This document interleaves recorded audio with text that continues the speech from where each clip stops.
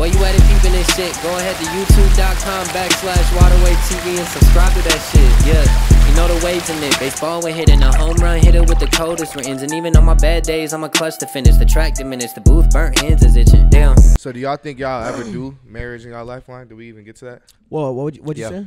for business. for business?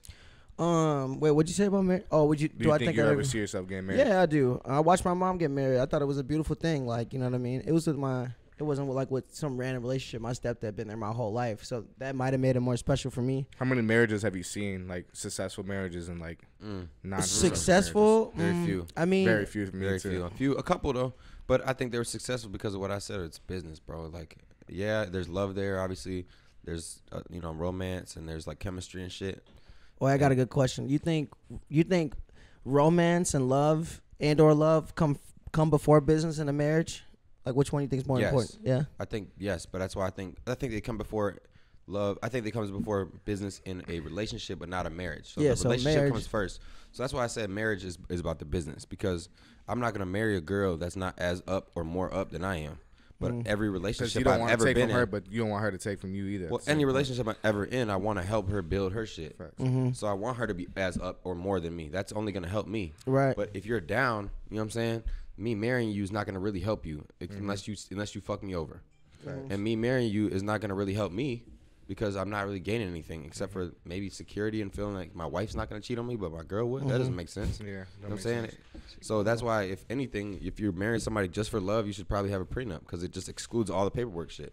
Yeah, that makes sense. That was that was, that was a good point. I But never. a lot of guys not trying to build their girls up; they're trying to keep them down because they're easier to control when they're Yeah, less financially that's- stable. that's you know what I'm cra- saying? that's crazy facts. work. Perfect. Yo, fellas, if you out there, you know, you one of these dudes who, you know, I don't know, man. I feel like that's some y- like I feel No, like it's that's what it is. Is guys be with these girls that be out of their league. Mm, that's so man. That's facts, bro. There be a I ain't bunch of gonna lie. niggas that I be Because seeing- think about it, I be seeing. bro. Think about how many times you've seen it.